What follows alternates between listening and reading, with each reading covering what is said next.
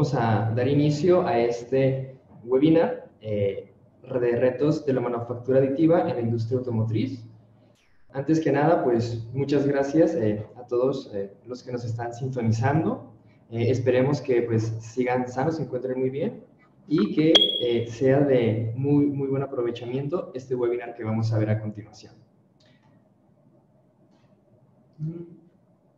Y bueno, eh, antes que nada, una breve eh, introducción. Eh, este webinar lo estamos impartiendo a través de Shift 3D, quien es partner oficial y distribuidor autorizado tanto de las soluciones de software para manufactura aditiva, Materialize, y de partner de HP para la distribución de equipos de impresión en manufactura aditiva la agenda del día de hoy y los temas que vamos a ver hoy, pues vamos a partir un poco por conocer a sus presentadores eh, aquí presentes, les voy a contar un poco sobre mí, eh, quiénes somos, qué hacemos en Shift 3D, y vamos a comenzar a hablar de, eh, muy específicamente en un tema bastante interesante, como lo es la manufactura aditiva dentro de la industria automotriz.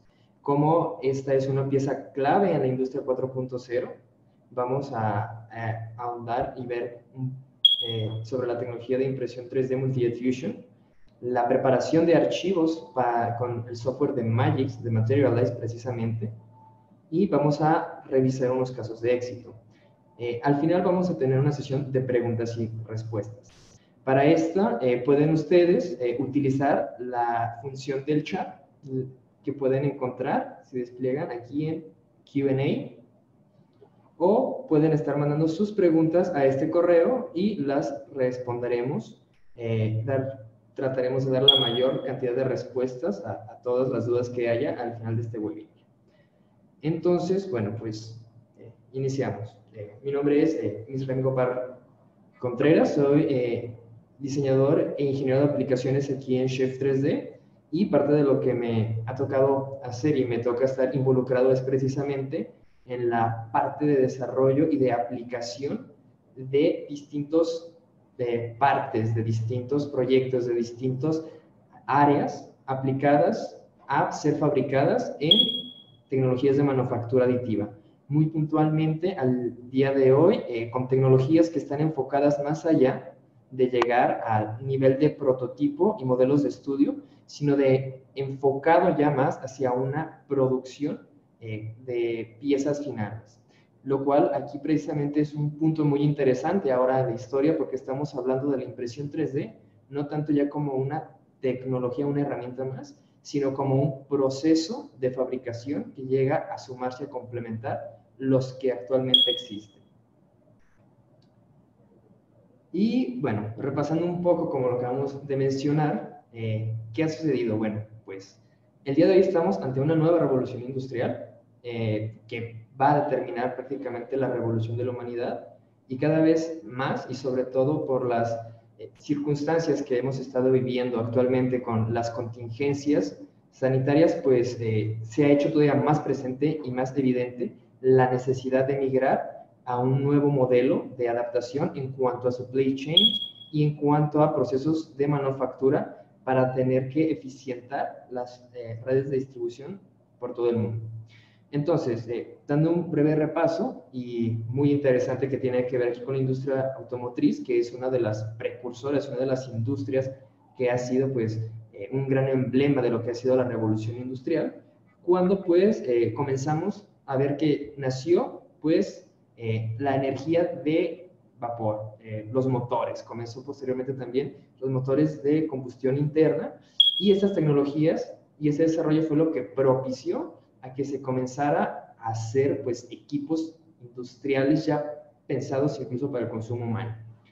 Posteriormente, conforme fueron avanzando y madurando estas tecnologías, se pensó eh, posteriormente ahora en la fabricación en masa, eh, utilizando tanto como la energía eléctrica y esto tuvo un gran impacto en toda una dinámica que cambió en su momento eh, y que antes no existía, como lo fue la división laboral, y la línea del ensamblaje.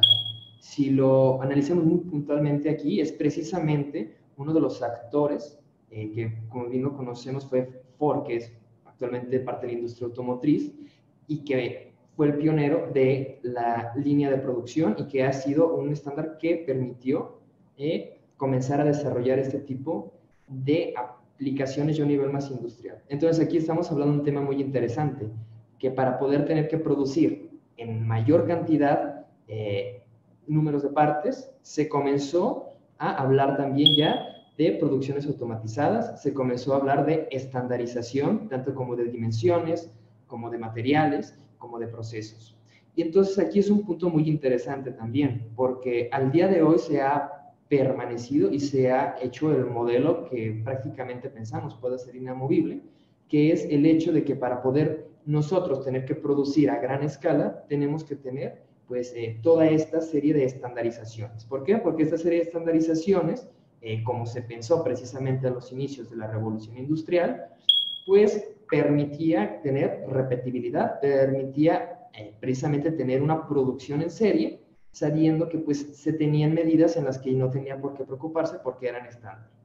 Eh, realmente, si lo pensábamos hasta hace unos cuantos años, eh, pues era impensable eh, querer fabricar productos personalizados para todo el mundo, ya que realmente los costos serían exorbitantes. Sin embargo, y como bien se ha visto con muchas, muchas tecnologías que están en la industria 4.0, al día de hoy estamos hablando de una manufactura y que es una producción inteligente, que hay una digitalización de archivos, de piezas, y que con esto se está eh, abriendo las puertas para una mayor eficiencia del capital, porque ahora precisamente se está reduciendo costos gracias a la implementación de nuevas tecnologías.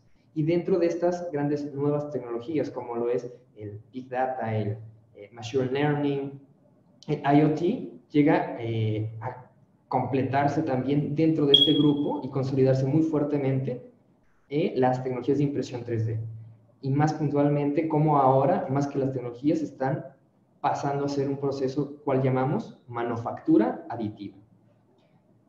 Pero sin embargo, bueno, eh, necesitamos transformar la industria y es algo que pues eh, va a suceder. De hecho, eh, en los reportes y en los estudios más recientes que hemos visto con estas situaciones de contingencia, se habla cada vez más de buscar la manera de tener eh, una producción más localizada, pero también está ahora el reto de pues, mantener este balance entre costo, beneficio y sobre todo el punto importante que es la geografía, porque al día de hoy eh, nuestro desplazamiento se ha visto limitado.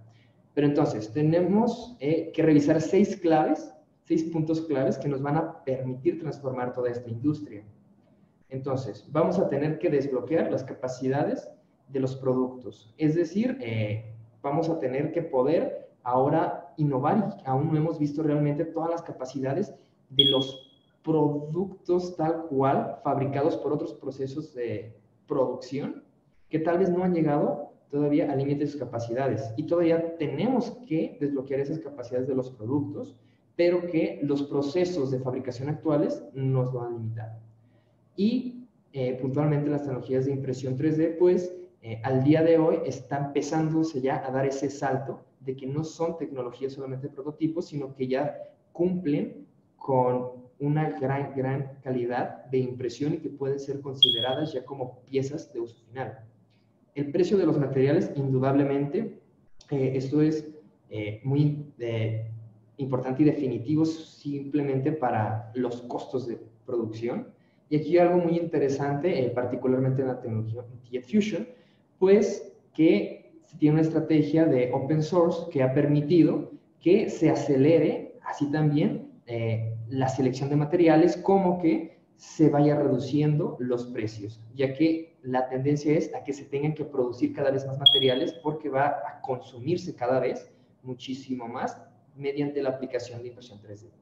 Pero para poder desbloquear estos puntos, estos tres primeros puntos, al día de hoy tenemos que enfocarnos en acelerar eh, estos tres principales puntos.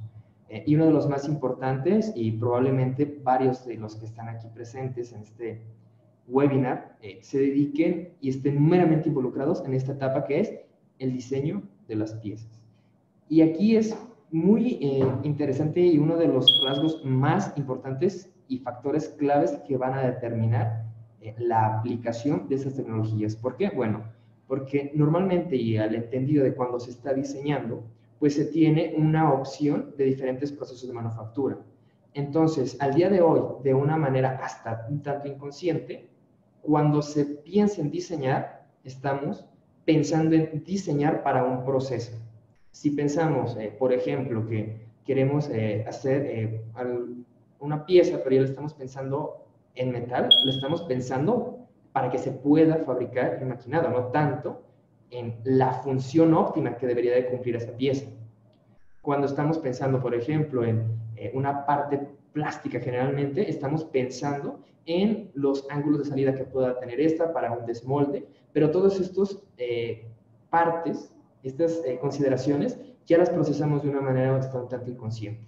Pero definitivamente, como cualquier otro proceso de fabricación, se necesita comenzar a diseñar para manufactura aditiva.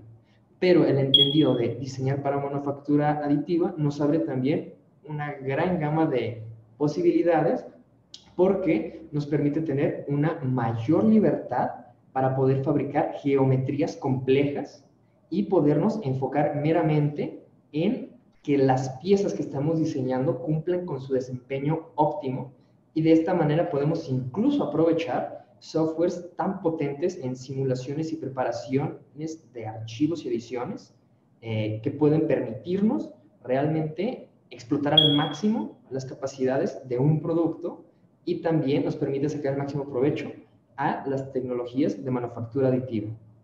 Y bueno, el día de hoy también, eh, y este es un tema muy interesante, de hecho, eh, el día de ayer estaba viendo un reporte del eh, Foro Económico Mundial, una nota, respecto también a las cadenas de suministro. al día de hoy, y es un cambio bastante interesante, bastante grande, por eso es parte de que al inicio, como podían ver, es la revolución de la humanidad, de cambiar lo que conocemos al día de hoy como cadenas de suministro, de que tal vez el hecho de tener nosotros que mandar piezas por todo el mundo, tener que invertir en grandes almacenes para poder mantener esas piezas y en el modelo y el sistema que se ha hecho el día de hoy de tener que eh, generar una gran cantidad de piezas para poder tener un estimado en un almacén para poder estar tomando piezas de este almacén conforme pues estamos produciendo, es lo que comienza a permearse, porque el, ya de hoy, si tú tuvieras eh, una pieza, vas a buscar digitalizarla. Al momento de tú tener todo un archivo eh, totalmente funcional, ese archivo eh, puedes mandarlo en segundos a cualquier parte del mundo, mediante un correo electrónico, mediante una carpeta en la nube.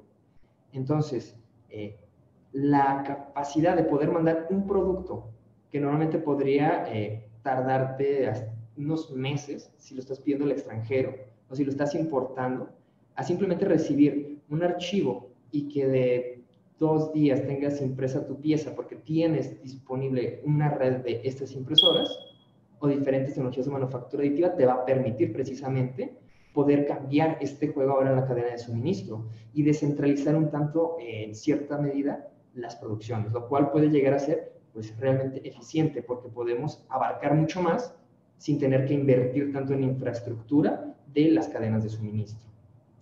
Y bueno, al día de hoy es algo que también tenemos que acelerar con los estándares de políticas.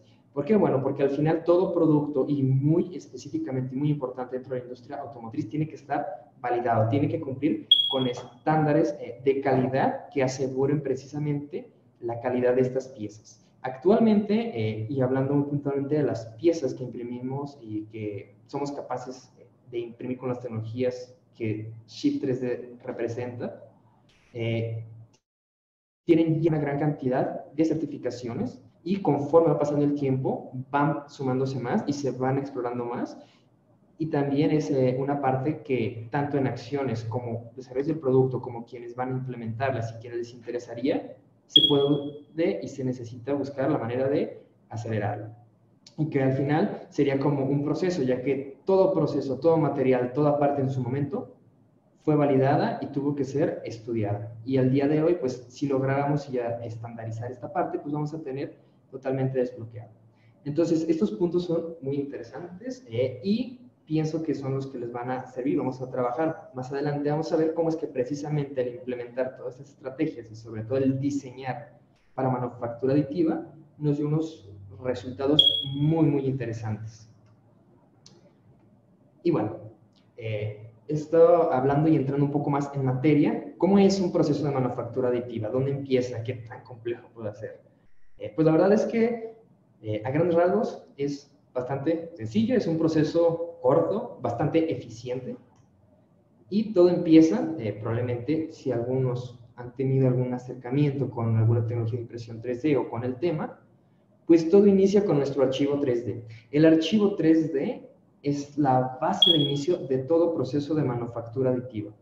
El archivo 3D tiene el volumen que va a traducir y va imprimir, tiene la superficie, tiene la geometría que va a replicarse. Aquí, bajo este entendido que comienza también a cambiar un tanto el paradigma, es interesante cómo se veía de venir desde tiempo atrás, pero el día de hoy se hace más presente, que es cómo cambiamos, que anteriormente, hace tal vez medio siglo, eh, lo importante y lo que se necesitaba para comenzar a fabricar una pieza era un plano de dibujo técnico. Al día de hoy, estos planos y dibujos técnicos han pasado a cumplir una función más de poder tener eh, una base de referencia, de validación y de archivo, porque realmente teniendo nosotros nuestro archivo tridimensional, simplemente vamos a exportarlo y vamos a colocarlo para preparar para impresión y esa es información la que va a leer la impresora. Porque realmente entonces, para fabricar, eh, no es indispensable en este sentido el plano. El plano y el dibujo técnico pues serviría para un proceso de validación y poder estar referenciando precisamente estos archivos, ya que pues es parte de los procesos que se deben seguir en estandarización. Y de este también eh, hay y existen y hay maneras de referenciar eh, estos planos y archivos técnicos y procesos de manufactura. Entonces, iniciamos el archivo 3D. Posteriormente, una vez que tenemos nuestro archivo 3D generado en el software CAD o de modelado que tú te sientas más cómodo, pues eh, una vez que lo mandas a tu centro de impresión, una vez que tú decides imprimirlo, tienes que meterlo a un procesador de estos archivos que va a prepararlos para impresión. En este caso, uno de los más poderosos y que tiene una gran amplitud para poder funcionar con una gran variedad de distintos tipos de tecnologías de manufactura aditiva y te permite eh, eh, precisamente sacar el máximo provecho a cada uno de esos modelos, es el software de Magix, de Materials. ¿Y para qué nos sirve este poderoso programa? Bueno, pues para la preparación de trabajos, que es el principal, sería la interfase donde se van a enviar cada uno de los archivos a las impresoras, donde sucede eh, esa parte tan simple que tú ves, que es oprimir un botón y que inicie la impresora, pero realmente la parte, eh, vamos a decirlo un poco más técnica, del reto de tener que resolver, yo lo vería así de una manera un tanto divertida, porque me ha tocado experimentar e interactuar con esta herramienta, que es eh, ubicar de la mejor manera posible las piezas. Es un reto bastante interesante. Entonces, también nos permite reparar archivos, porque aquí tienes algo muy crítico y algo que puede llegar a suceder, de que los archivos al final tienen que tener un volumen definido. Cuando un archivo viene a una sola superficie, cuando un archivo a lo mejor tiene alguna intersección de superficies o de planos, nos permite reparar esos archivos, nos permite incluso hacer ediciones de optimización, nos permite aligerar peso en las piezas, porque al final aquí uno de los principales eh, aspectos a considerar es que es una tecnología aditiva y ahora nos va a costar por más material que utilicemos.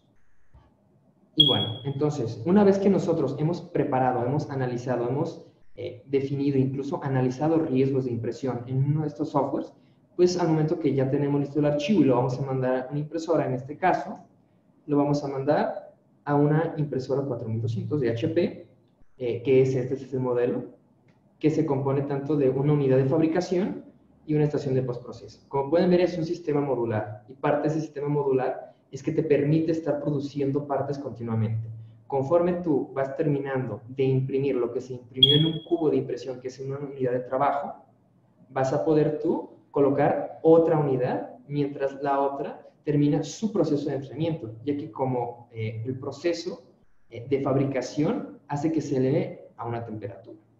Pero bueno, ¿cómo es que funciona este proceso? Los elementos básicos del proceso realmente, a grandes rasgos, eh, son bastante sencillos. Y si están familiarizados con eh, tecnologías de impresión 3D, vamos a hablar de capas. Vamos a añadir una capa de material. Esta es una tecnología de polvo. Eh, entonces, con un rodillo va a esparcir una capa de material, una capa de 80 micrones, lo cual pues es una calidad bastante buena. Y posteriormente, a esta capa que ha colocado de polvo, se van a agregar dos diferentes agentes. Eh, dos que funcionan precisamente para comenzar a fusionar el polvo. Pero ¿cómo es que funcionan estos agentes? Bueno, como pueden ver, aquí eh, precisamente tenemos uno que es de color negro y uno que es de color azul. Entonces, cuando nosotros dejamos que estos dos agentes que van a dibujar la figura de la pieza, posteriormente se aplica energía, que son con las lámparas de resistencia, y lo que va a hacer es que el agente de fusión va a reaccionar y va a fundir el material, mientras que el agente de detalle va a actuar de la manera opuesta y va a delimitar dónde se debe de dejar de fusionar el material. Posteriormente, pues vamos a tener esa capa solidificada con el resto. Aquí parte interesante también del proceso es que se fusiona de 3 a 4 capas por debajo de la última que se ha fusionado. Y esto permite tener una mejor cohesión de enlace entre las moléculas de estos polímeros, lo cual nos permite tener un aspecto eh, muy importante y sobre todo que es lo que ha permitido dar el siguiente paso, ya no ser una tecnología de prototipo, que es que las piezas ahora son isotrópicas, que ya pueden tener las mismas propiedades mecánicas y de resistencia en cualquier eje que tú la pongas a prueba.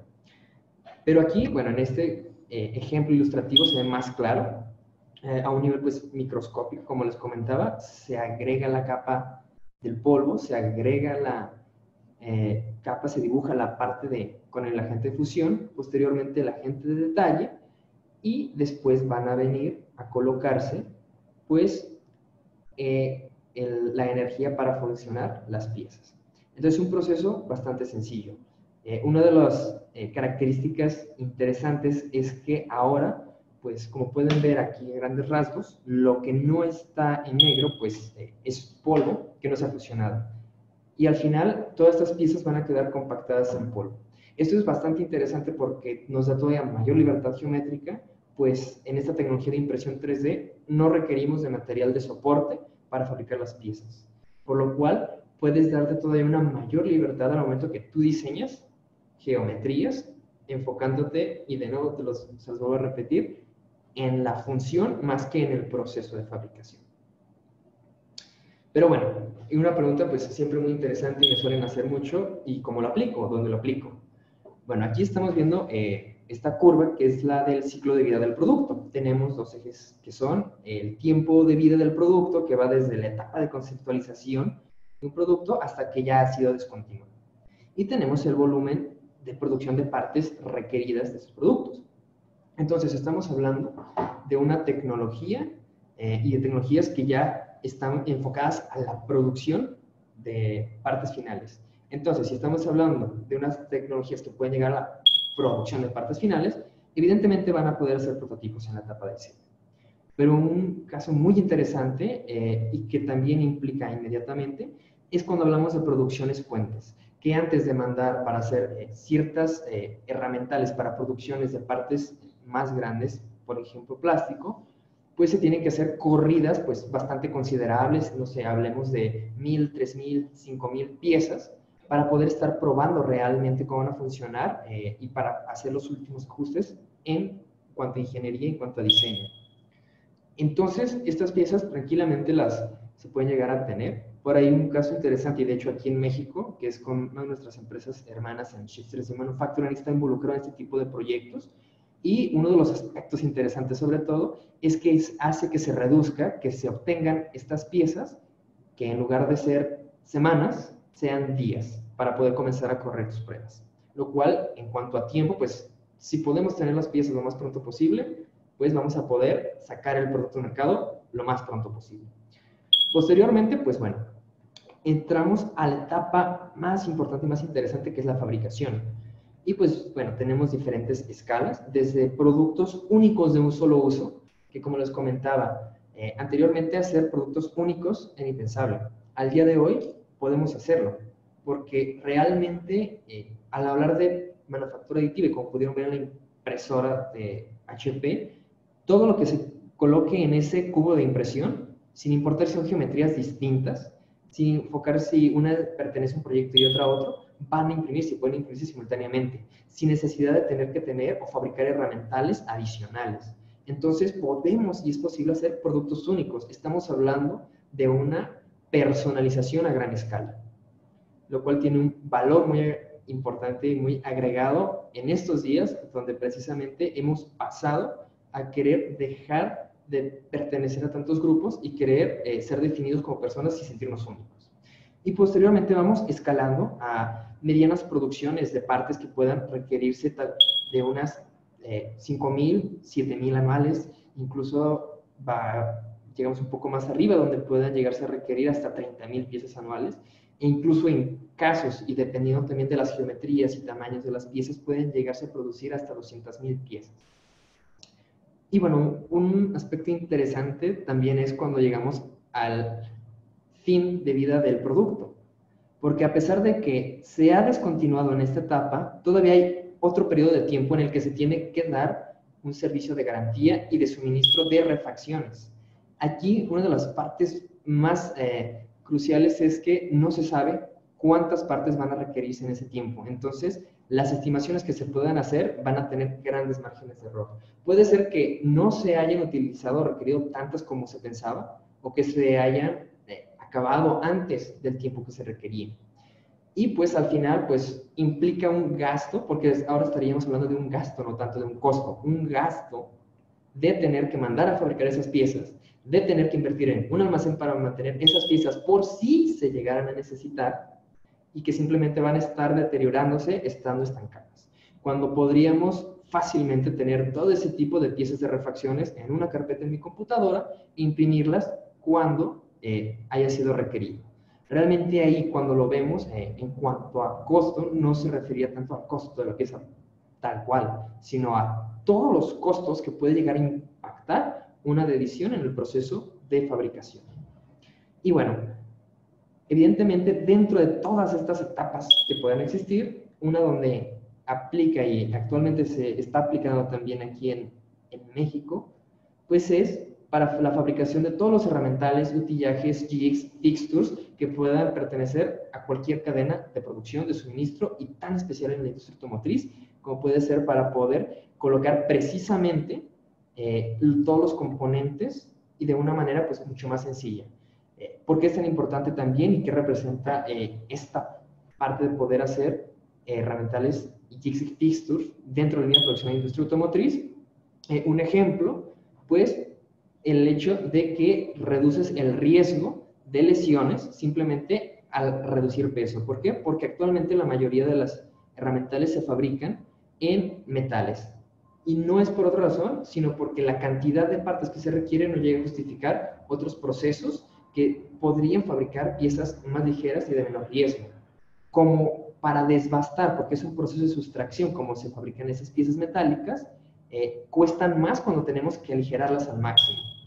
Y como se os había comentado, es el caso contrario cuando hablamos de manufactura aditiva. Vamos a buscar solamente utilizar el mínimo requerido. Y dentro de estas mismas líneas de producción, eh, un muy interesante es para los eh, fines herramientales de brazo, porque ahora podemos reducir el peso del herramental y esto va a permitirnos poder ampliar la capacidad de levantar el peso de nuestros brazos robóticos, que inclusive puede en ciertos casos llegar a menos la decisión de por tener un herramental muy pesado, no tener que invertir en un brazo robótico de mayor capacidad simplemente con aligerar nuestro herramental. Entonces, dentro de la industria automotriz, como es una industria tan amplia que tiene tantas piezas donde se pueden aplicar desde eh, prototipos, productos muy personalizados al interior de pues, eh, cualquiera que pueda tener, o si eh, incluso tendría un valor muy agregado para corridas pues, muy específicas, para inclusive partes de edición limitada, incluso para partes tan interesantes como puede ser el wiring, ya que de estas piezas hemos tenido y se ha revisado pues muchísimos casos en los que se reduce bastante y muy considerablemente costo de este tipo de eh, piezas y que siempre terminan siendo muy cruciales. Entonces, hay una gran oportunidad, hay realmente una gran espectro donde podemos implementar eh, la manufactura aditiva en la industria automotriz. Pero bueno, vamos a revisar eh, algunos casos de éxito para no ver simplemente cómo es que sería y cuál es la oportunidad, sino poder ver realmente cómo es que ya se está haciendo. Entonces, eh, uno de los casos de éxito, pues, es el del BMW i8 el Roadster. esta pieza que están viendo aquí es un, es un riel de una de las ventanas y sí, efectivamente, eh, puede parecerse ya cuando, si la está viendo un diseñador, si la está viendo alguien que se dedique a fabricar, que puede ser una pieza un tanto compleja en el momento de, de fabricar. Pero ¿qué podemos analizar muy puntualmente en esta pieza? Bueno, pues la geometría que tiene le da una muy buena estructura, que al mismo tiempo hace que se utilice solamente el material necesario. Tiene un acabado natural, ya que es un producto que va a ser, eh, no va a estar expuesto a la vista, puede permanecer con esta textura. La textura que están viendo es un color pues gris muy oscuro, eh, ya que al final, pues como pudieron ver y se recordarán, el agente de fusión pues tiene un color negro. Entonces es por esta razón que es el color de las piezas. Y bueno, es una pieza de nylon, es eh, uno de los materiales que pues se ha estado implementando y tiene muy buenas propiedades mecánicas. Y aquí es un tema muy interesante, ya que eh, al día de hoy, y también se los comento por experiencia personal, eh, se ha pensado y se permea mucho y siempre, eh, que también tiene que ver por la parte de certificaciones y validaciones en proyectos, pero al día de hoy con la factura aditiva tenemos la ventaja de que podemos alcanzar propiedades mecánicas y de desempeño de una pieza en particular, no tanto y únicamente limitados a la selección del material, sino también que podemos jugar con la geometría, que podemos nosotros generar y aplicar ahora precisamente ciertos principios físicos, como lo que serían ejemplos de tridilosa, como pueden ver aquí en esta pieza, estas estructuras que hace que sea la pieza ligera, pero que hace que distribuya muy bien los puntos de carga y de presión. Entonces, es una pieza pues bastante interesante, es una mediana producción de este BMW, de este modelo, pues realmente no son tantas unidades que se producen al año. Y entonces, eh, el tener que invertir en piezas y en otros procesos de mayor producción, pues realmente representa un costo muy elevado y que aquí puede aplicarse sin ningún problema. Entonces, a continuación les voy a poner el video ilustrativo para que puedan verlo con más claridad y detalle.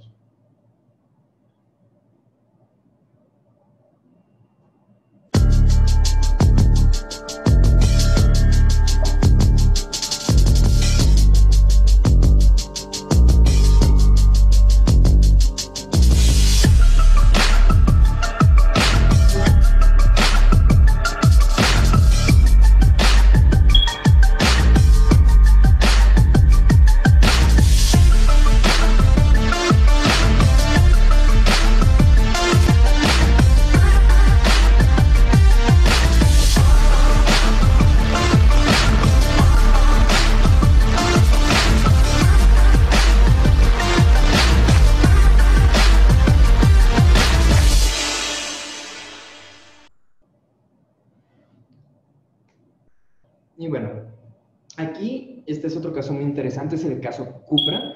Este es eh, un auto de carreras.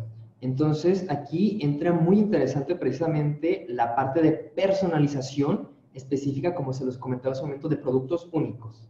¿Y por qué es tan interesante y siempre utilizarlos en Cupra? Bueno, eh, pues eh, uno de los ejemplos muy interesantes es este retrovisor, ya que a pesar de que tiene que cumplir con ciertas cuestiones o ciertos lineamientos para poder competir, para poder cumplir con ciertas reglamentaciones, todavía encima, después de cumplir estos lineamientos, existe todavía la posibilidad de trabajar sobre esta pieza para encontrar un aspecto muy interesante que solamente nos los da con el manejo de formas que a veces pueden ser muy complicadas de obtener y que tienen su función para la aerodinámica.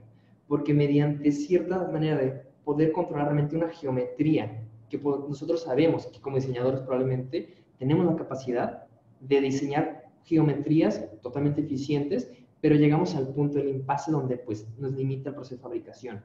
En este caso en particular eh, es el objetivo que se lleva a hacer. Eh, este nada más es una de las tantas piezas que lleva este y que continuamente están fabricando porque conforme cada carrera pues tienen que ir mejorando y siempre están en el proceso de mejora continua y del hecho de poder contar con estas tecnologías y fabricarlo en impresión 3D, pues permite el tener eh, sin ningún problema y sin un costo enorme, poder estar personalizando y cambiando refacciones constantemente.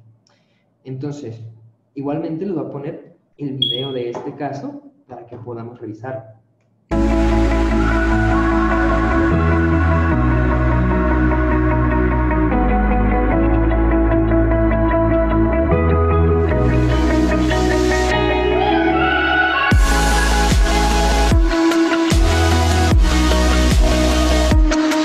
Objetivo principal es poder tener muchas piezas y poderlas probar en poco tiempo.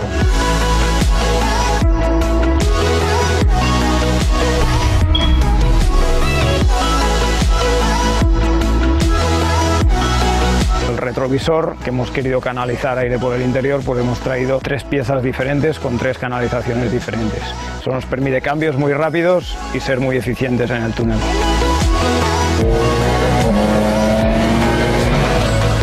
Resultados han sido muy buenos y algunos incluso sorprendentes. Hemos ido a buscar los límites del material y el sistema funciona perfectamente.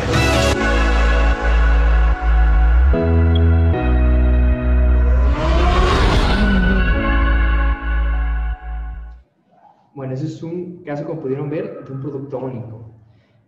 Y aquí les quiero hablar de un caso muy interesante, que es un caso de Peugeot, eh, precisamente por aquí podrán notar algunas texturas. Este es un detalle del interior del auto. Este, al igual que el anterior, es un producto único, eh, porque es de una sola unidad. Y, es, y estas texturas que están viendo a mí, que están viendo aquí, eh, tienen precisamente la función de cumplir con una mejora acústica al interior del auto. Así como tal vez hayan visto en alguna película o en algún momento que en ciertos estudios de grabación en las paredes suelen tener texturas precisamente por eh, cuestiones de calidades de audio, eh, el reto aquí era cómo trasladarías eso al interior de un auto. Porque estamos hablando que el interior de un auto, pues toda la superficie realmente suele ser irregular y no podría contar con partes planas. Eh, y el hecho de tener que mandar a hacerlo, y si hay quienes utilizan software no me dejarán mentirlo, podrías llegar tú a hacerlo y fabricar sobre esa superficie. Pero al momento tú de tener que fabricarlo, como son diferentes, una pieza muy grande, deberías seccionarlo el tiempo que tardarías en tener que generar eso tú desde el diseño, pues realmente sería demasiado. Sin embargo, pues eh, aquí es eh, más que simplemente el proceso de tecnología, es cómo puedes eficientar esa parte también del proceso. Pues con el software de Magix eh, y con la herramienta de cortes rápidos, pues se hizo, se colocó la pieza al interior y posteriormente simplemente se realizaron los cortes para poder comenzar a montar las piezas. Eh, les voy a mostrar este video, que es el último caso de éxito que vamos a, ver antes de llegar a unas conclusiones y posteriormente eh, veremos una demostración de esta herramienta de corte.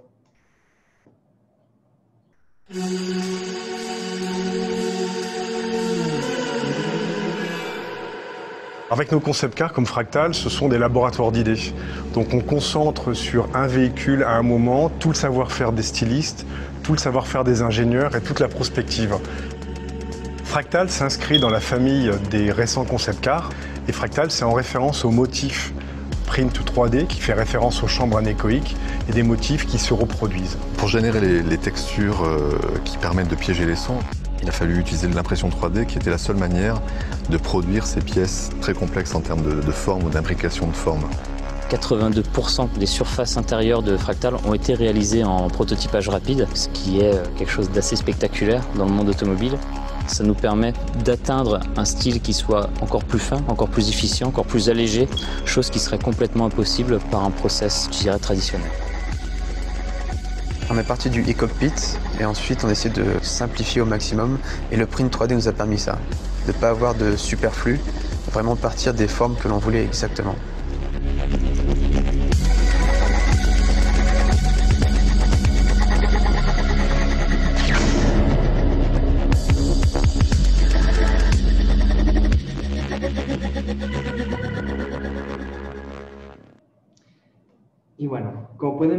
Estas texturas bastante intrincadas, pues al final cuando se tenían que montar, tienen que ser en secciones. Pero ¿cómo lo hacemos? Bueno, aquí les voy a mostrar una herramienta, como les comenté, es con el software de Materialized Magics.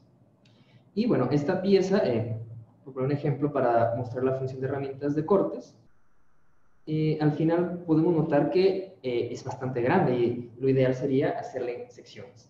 Entonces, normalmente si tú fueses a diseñar, eh, tendrías que pensarla en hacer de diferentes estrategias con diferentes maneras y teniendo que considerar todas las operaciones que implica en tu software para tener tú que también considerar y hacer los cálculos de las tolerancias y tener que hacer estas piezas podrías hacerla una sola y después tratar de, de separarlos y podrías hacerla por partes.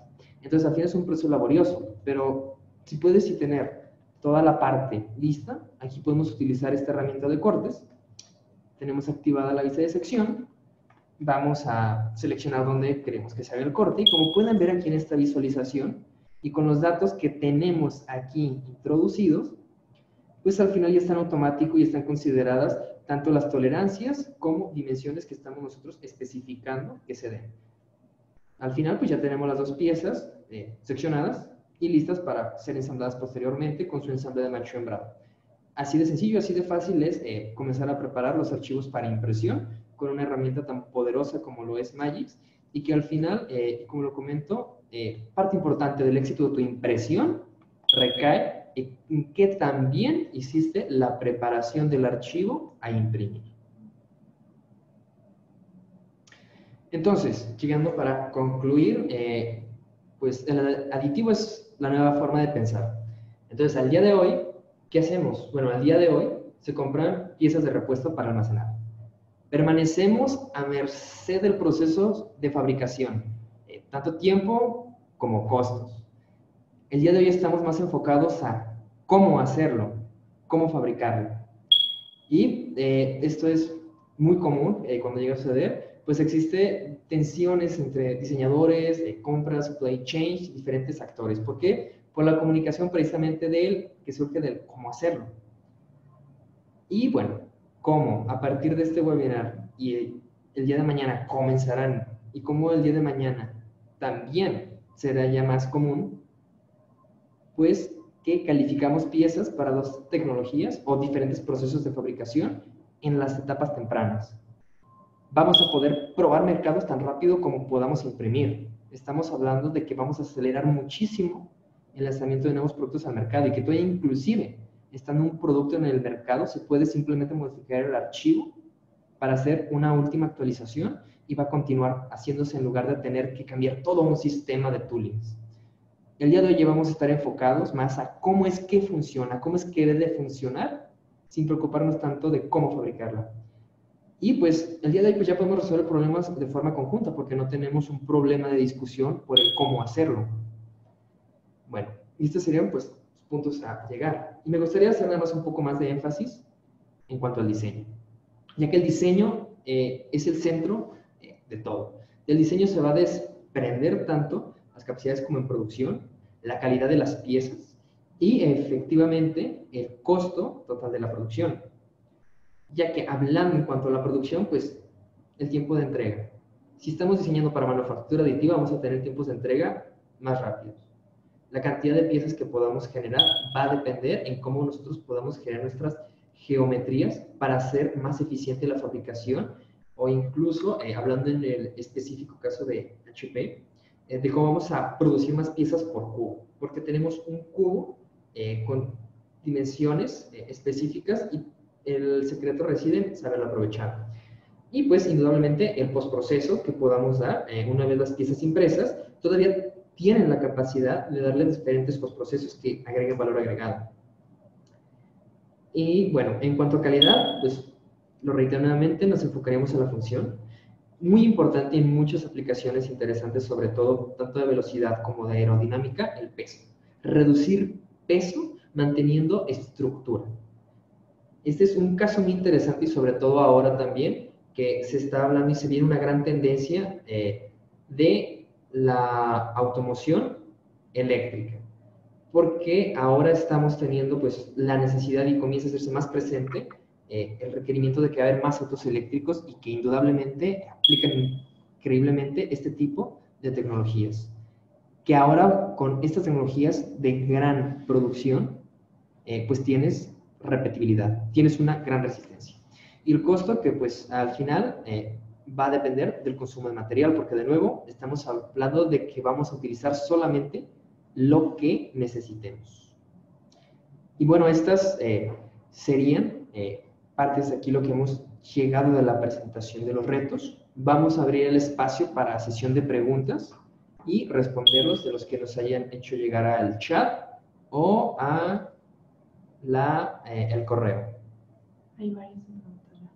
¿Le pongo el chat? En preguntas. A ver, entonces vamos a abrir el chat y... Permítanme. Empezar por... Alfredo Moreno. ¿Le doy en Answer Live? No, no, no. Contéstalo, empieza a decir en Ok. vivo. También hay en el chat. Y de acuerdo. Sí, está en el chat. Y bueno, ¿qué tan similar es este programa Magix a otros tales como Cura? Y bueno, la similitud en cuanto al Cura y Magix, bueno, es una interesante pregunta, ya que aquí se partiría de la analogía del slicer que necesitas tú para mandar a imprimir.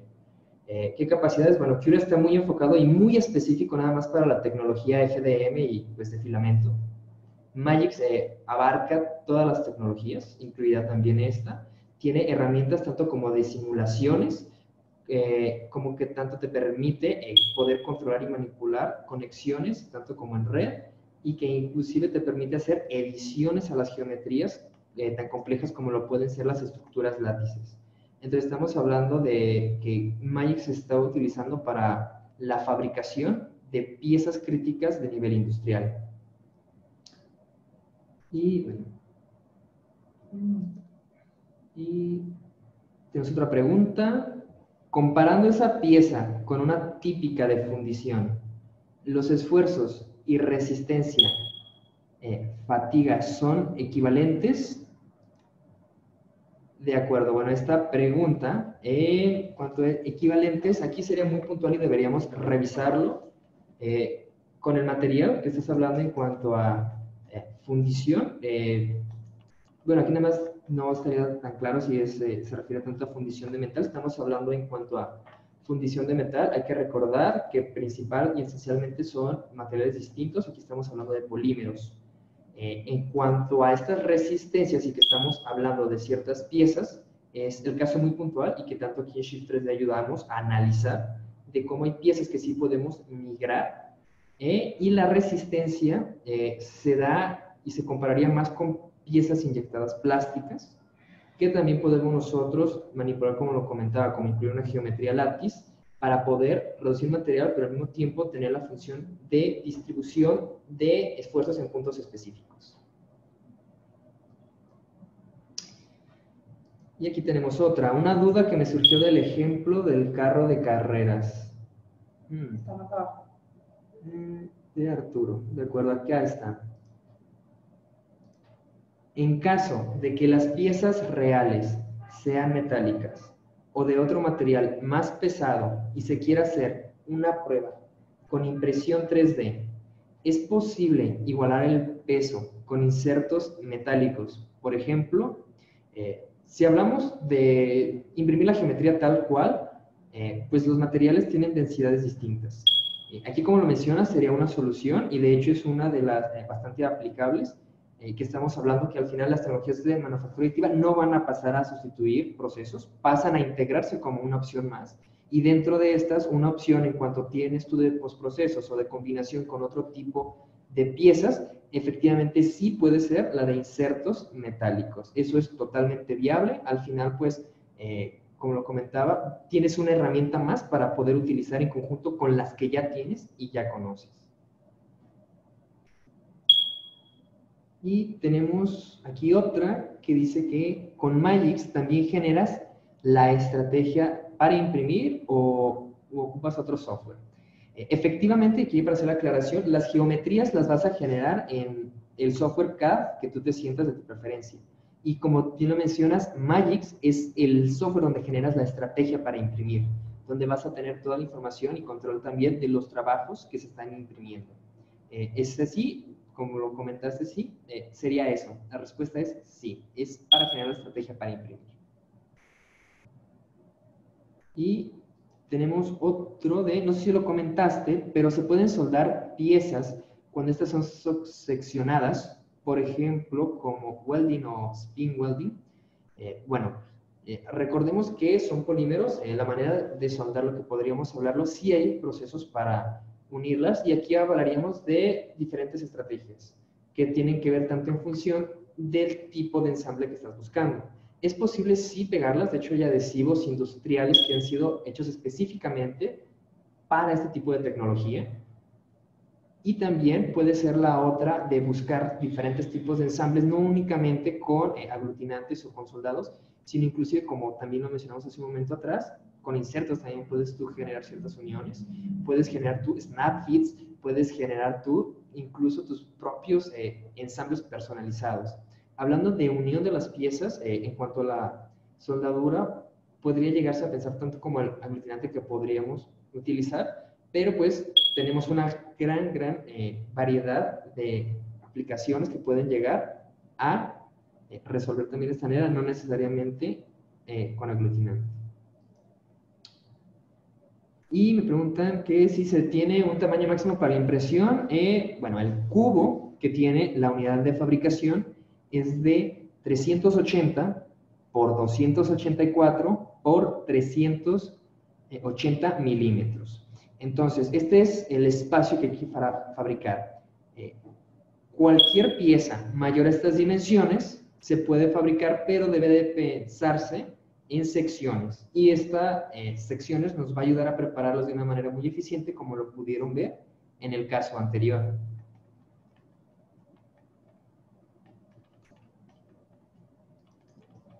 Y preguntan, para el sector educativo, ¿tienen servicio? Y la respuesta es sí, por parte de Shift 3D tenemos toda la parte, tanto como de eh, webinars, tenemos eh, el Design for Additive Manufacturing Workshop eh, y eh, podemos vincularte con nuestra empresa hermana de manufactura que sí puede brindarte el servicio. Igual, si tienes una pregunta más específica en cómo te gustaría eh, o qué te, te, gustaría recibir como información o el servicio que buscas en específico para el sector educativo, te invitamos también a contactarnos directamente y podemos apoyarte. Y bueno, dice, grupos de estudiantes con diseños personalizados, imprimibles, sus prototipos. Ah, bueno, sí, te lo comento, sería y podemos vincular con nuestra empresa hermana de manufacturing, eh, que sí te pueden brindar todo el servicio, incluso puedes, si estás invitado, a visitar nuestras instalaciones. Nos encontramos en la ciudad de Zapopan, en el área metropolitana de Guadalajara, para que no nada más, pues ahora sí mandes nuestro diseño, sino que puedas venir, interactuar, incluso conocer las impresoras.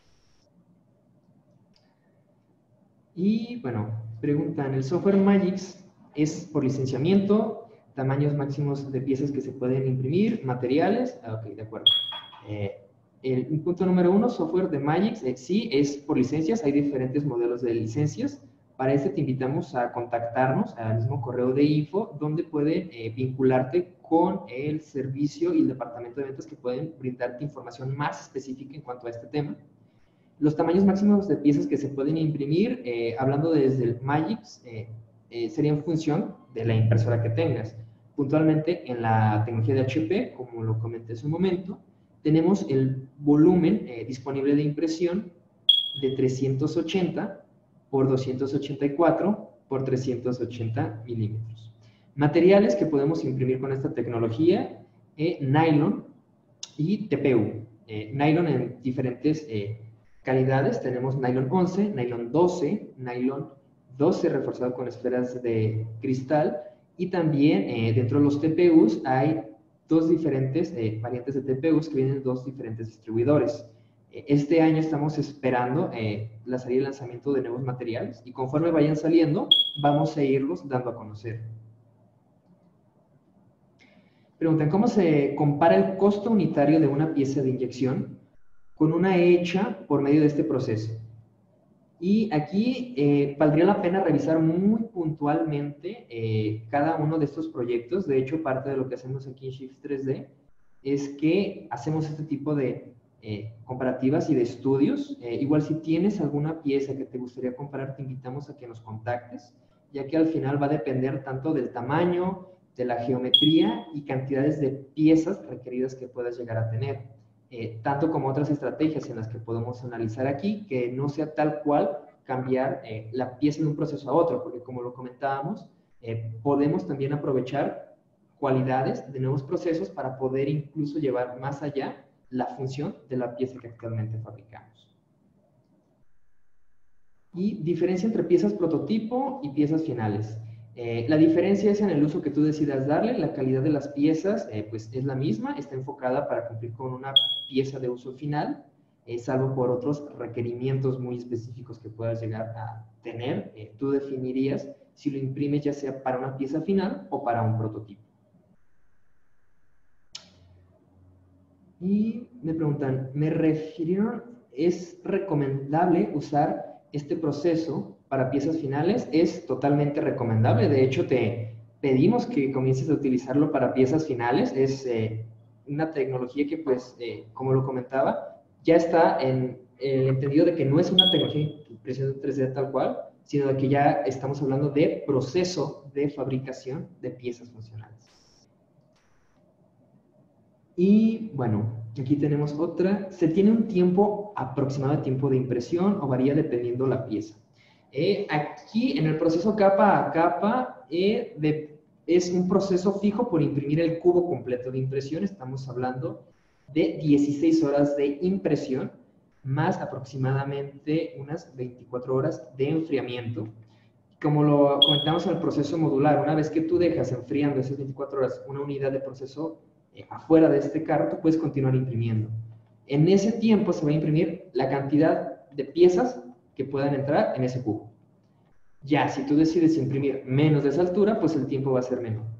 Pero el cubo completo en imprimirse tarda unas 16 horas. En el modelo, que de hecho están viendo aquí, color blanco, que es el más reciente, 5200, tarda 12 horas.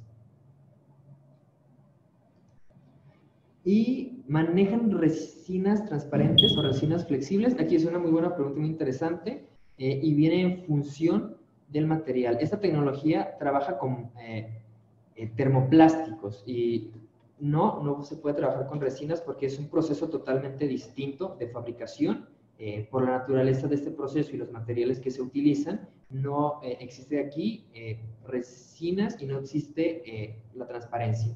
La flexibilidad sí existe, en los TPUs que tenemos pues alcanzan un gran grado de flexibilidad y pues ha sido el material más reciente que se ha sacado y se lanzó al mercado y esto sí es posible, tener piezas flexibles y sobre todo que podemos nosotros controlar qué tan flexibles son mediante eh, la geometría. Y preguntan, ¿existen casos exitosos en el ámbito de Research and Development con manufactura aditiva dentro de México. Eh, te puedo decir que sí, eh, no te puedo dar, decir quiénes, eh, pero porque, bueno, es parte de la confidencialidad que guardamos dentro de Shift 3D, pero te puedo decir que actualmente sí, sí existen este tipo de proyectos y que han precisamente podido avanzar muchísimo más rápido en el desarrollo de estos mismos proyectos. Y bueno, pensando en manufactura aditiva como parte de producción en serie, ¿qué tecnologías adicionales son requeridas para complementar el proceso de manufactura aditiva? Hablando de, por ejemplo, selección y validación de calidad de materiales, inspección dimensional, limpieza, acabados, etc. Es una muy buena pregunta. Y en cuanto a la solución que viste inicialmente de impresora, unidad de postproceso y unidad de fabricación, complementario, y eso pues es eh, parte del site preparation del sitio, para poder instalarla, eh, viene en parte a que necesitarías eh, un sandblast, una, simplemente para poder retirar las últimas capas de polvo, sería la única maquinaria, y para temas de mantenimiento y limpieza de la impresora, eh, una aspiradora contra explosivos, ya que al final estamos trabajando con polvos y pues la fricción tenemos que tener cuidado con esa parte. Por eso serían las únicas dos que tendrías que tener. De ahí en más, pues dependerá también para la instalación de la máquina, hay ciertas recomendaciones que se piden a nivel técnico por parte de los instaladores. Si tienes más interés en conocer sobre esta parte, por favor, haznos llegar la información y podemos contactarte con uno de nuestros ingenieros de servicio que puede brindarte información muchísimo más específica en ese tema. Y preguntan de qué materiales están disponibles para imprimir actualmente en la máquina. Actualmente eh, están disponibles para imprimirse nylon 12, nylon 11, nylon 12 con esferas de cristal y un TPU que viene y está hecho por BAFS y un TPU que está hecho por Lubrisol. Y los que vayan saliendo, que los mantendremos al tanto informados. Síganos en nuestras redes para que puedan saber cuál de esos materiales nuevos eh, siguen saliendo día a día. Y bueno, hacer piezas de alto volumen a un costo atractivo totalmente. Y de hecho yo te lo diría, entre más imprimas, pues muy probablemente más eh, económico va a ser imprimir, porque al final esta tecnología eh, está pensado y enfocado para producir en alto volumen. Si imprimieras en muy bajo volumen, realmente estarías desaprovechando una muy buena inversión. Y bueno, normalmente el diseño mecánico o estructural de una pieza parte de la resistencia del material a tensión o corte, módulo de elasticidad. En este caso, ¿qué valores de esfuerzos existen para los materiales que son este tipo de fabricación? Eh, esta información, eh, si gustas mandarme un correo y quien se lo necesite, podemos hacerles llegar las fichas técnicas del material donde viene toda esta información muchísimo más especificada para no andar en tantos eh, detalles técnicos en, en, esta sesión de preguntas eh, y respuestas, pero por favor contáctanos, incluso también estás invitado para eh, poder nosotros facilitarte incluso probete si lo requirieras y comentar también un poco más, como lo comentaba, de la parte de cómo podemos mejorar algún aspecto de la función mediante la geometría. Y aquí me dicen, bueno, gracias a, de nada, gracias a ti por haber asistido, eh, José Alfredo. Y bueno, pregunta Elizabeth Valle, ¿cuál es la tolerancia, eh, tamaño superficie que se llega a tener en las piezas? ¿El tamaño de las piezas afecta a las tolerancias? Es una muy interesante y una muy buena pregunta. La tolerancia dimensional que existe entre otras impresoras eh, es de más o menos 0.2 milímetros. Sin embargo, eh, como bien lo mencionas, está dentro de piezas de 10 centímetros. En piezas más grandes podemos llegar a esperar eh, una tolerancia dimensional de 2%. Sin embargo, y parte también, hablando de el modelo 5200 que ves aquí, eh, tiene eh, mejoras sobre precisamente estas partes dimensionales que permiten que tú puedas interactuar y mover ciertos valores para poder controlar y, digamos, tener este tipo de otras variaciones que te pueden permitir incluso llegar a una eh, certificación de una tolerancia dimensional de CPK 1.33. Y pregunta Carlos Barrera, ahora piezas con un buen acabado texturizado como parte del tablero se pueden elaborar. De acuerdo, eh, el acabado texturizado, si pudiste haber visto en esa imagen, eh, parte de la textura incluso también Magix te permite agregar texturas mediante la aplicación de imágenes, lo cual pues permite ahorrarte mucho el tiempo. De ahí, si tú utilizas otro software de texturas muchísimo más avanzadas, pues es cuando comienza a tener sentido. De hecho, muchos softwares que hayamos eh, ignorado de cálculos o diseños paramétricos, a hoy en día comienzan a hacerse críticos su aplicación y realmente, eh, pues el acabado lo tiene muy bueno. La textura, una vez que sale impresa la pieza, eh, llega a tener pues su cierta bueno, textura de esa polo de impresión, pero como lo comentaba, hay una infinidad de postprocesos que puedes aplicarle y dentro de una de ellas es el pulido de las piezas para dejar un acabado muy, muy liso. Si gustas y tienes la oportunidad de acudir a nuestro showroom, puedes eh, tú mismo palpar las piezas. Y muy amable a ti, José Alfredo, bastante interesantes tus preguntas.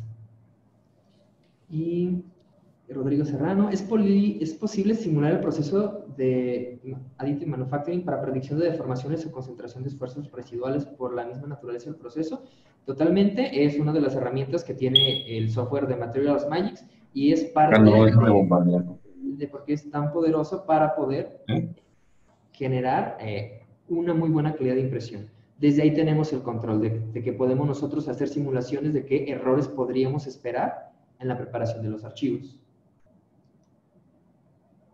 Y pregunta, ¿se tiene algún listado de materiales con las propiedades mecánicas de los materiales y cómo podemos saber cuál es el apropiado para la aplicación que estamos buscando? Eh, sí, eh, si gusta mandarnos un correo, podemos hacerle llegar todas las eh, fichas técnicas de los materiales también eh, por ahí y es algo que vamos a estar presentando. De hecho, también si tienen aquí algún tema que gustaran que habláramos en próximos webinars, también háganlo saber podemos hablar de uno específicamente de cómo seleccionar el mejor material y va a depender de la aplicación que estás buscando. Para esto podemos asesorarte. Eh, por favor, contáctanos eh, para poder darte una asesoría más completa. Notas Salvador Horta, yo utilizo Autodesk NetFact, prepara y repara los archivos, genera soporte, genera las estrategias y tiene salida para HP. Puedo no comprar el Magix, esta sería tu decisión. Eh, realmente te comentaría, nosotros somos distribuidores de Magix y al final lo hemos eh, elegido porque es una herramienta mucho, eh, pues, muy completa. de igual forma tiene una mejor, muy buena integración igualmente con HP y constantemente pues está manteniéndose actualizado. al final, pues, digamos, es decisión tuya, Salvador. Y no, actualmente no se cuenta con Nylon 6.6, pero eh, te puedo comentar que ya hemos eh, tenido y hemos revisado casos en los que han sustituido el Nylon 6.6 por Nylon 12. Eh, si tienes algún proyecto o algún requerimiento especial que lo busques, podemos revisarlo. Al final es basarnos más en los requerimientos de la función del producto y nada más poder evaluar que los specs de las fichas técnicas realmente puedan cumplir y satisfacer esas funciones, que además pues junto con eh, software de análisis podemos validarlos. Preguntan, buenas tardes, María Macías de Aguascalientes. El día de hoy un cliente me solicitó un presupuesto para una impresión de 36 centímetros. Mis impresoras no tienen ese alcance, además de que la quieren pelear. Otra requisición es que sea una sola pieza. ¿Ustedes manejan esta área? Eh, sí, de hecho, bueno, los 380 milímetros serían 338 centímetros. Esta pieza entraría completamente. Eh, te diría que no podemos imprimir en PLA, pero te podemos imprimir con un material que pues, va a tener una mejor eh, calidad de, que se considera pues, para uso industrial. Y aquí preguntan, eh, no, no, en PLA no se imprime. Y sí, sí tenemos esta capacidad de preguntar. Y la integridad de las piezas fabricadas se puede asegurar con pruebas no destructivas para garantizar que no existan defectos internos que resulten en la falla de la pieza. Eh, sí, puedes llegar tú a realizar eh, varias pruebas. De hecho, parte que lo que te permite aquí es que la manera en la que tú puedes evaluar rápido, y esto entra, como lo hablábamos, dentro de las etapas iniciales del producto, que vas a poder tú evaluar y definir tan pronto como puedas imprimir. Y tan pronto como puedas imprimir repercute en tan pronto como tú puedas cambiar las geometrías en tu software. Entonces, eh, Sí, sí es, es posible. Mm, después es una eh, muy buena pregunta, bastante técnica. Eh, si gustas, puedo contactarte con uno de parte de los especialistas que tenemos en materiales y pueden darte más a profundidad este tipo de eh, especificaciones que buscas. Pero al final te puedo comentar que es un material de alta flexibilidad que puede cumplir precisamente con funciones tanto como absorción de impactos como eh, inclusive para poder tener ciertos housings. Y preguntan, ¿se puede imprimir en distintos colores de termoplástico a la vez? Ejemplo, combinar colores en una sola pieza. Es posible en uno de los modelos de impresoras. Este modelo es un modelo de la serie 500. Este modelo no se considera para producción, pero sí tiene esta cualidad de poderte imprimir en el mismo material nylon, pero totalmente a colores, con la misma calidad del color que ya imprimen las mismas impresoras y plotters de HP, puedes imprimir en toda esa gama de colores, y sí, sí es posible. ¿Cuánto es el tiempo típico de postprocesado? Eh, te diré que el tiempo típico de postprocesado, eh, y hablando del acercamiento y la experiencia que me ha tocado cuando visito a la empresa hermana de manufacturing, pues depende de la cantidad de piezas que tengan, real y el tamaño que tengan. Normalmente, digamos, de una pieza de 10 centímetros, pues eh, en un 5 minutos podrías tenerlo, porque al final una vez que salen las piezas del carro es simplemente eh, desenterrarlas, quitarlas del polvo y darles eh, una pasada, que es nada más y se considera un proceso de limpieza en el Sandblast y tu pieza hasta ese punto estaría lista y para poderse usar. Ya, si después a ese paso desearas agregar un postproceso como pintura, como pulido, ya dependerá meramente en función del postproceso que pretendas utilizar. Preguntan, eh, El material se maneja por caja o bolsa. Una vez que realizo una impresión del material no utilizado, se puede reutilizar. Aproximadamente cuánto cuesta el material. Bueno, el material viene en diferentes presentaciones que va en función de qué tanto estás imprimiendo. Eh, viene en unas cajas y viene una opción ya cuando estamos hablando de modelos y de requerimientos que tienes de una gran, gran alta producción, que es por el bulk en el que tal cual te están surtiendo el, el polvo eh, para llenarte tus eh, contenedores. El material efectivamente se puede reutilizar, eh, se puede reutilizar y para mantener la frescura de este material cada vez que se imprime estamos, se hace una mezcla de material fresco con el material reutilizado. Material fresco de un 20% con 80% reutilizado. El otro porcentaje, bueno, pues es las piezas que se han solidificado.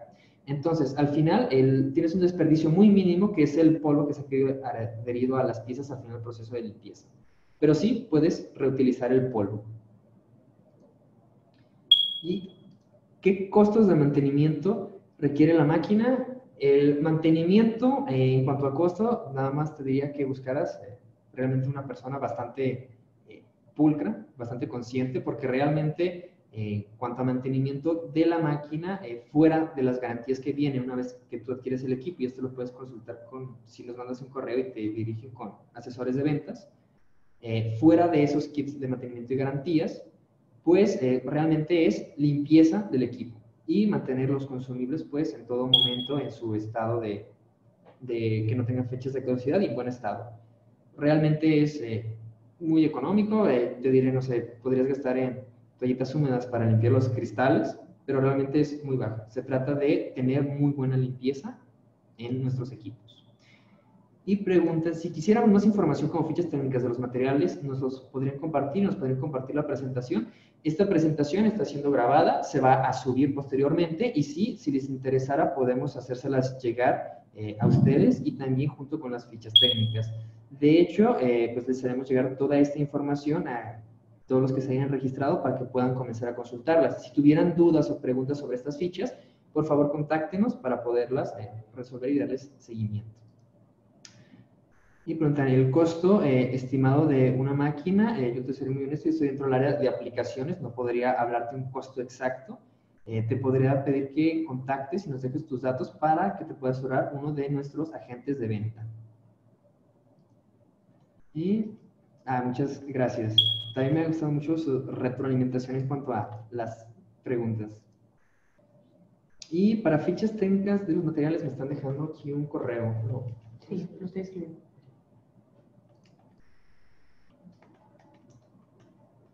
Y sí, te vamos a hacer llegar las eh, fichas técnicas, no tengas duda de ello.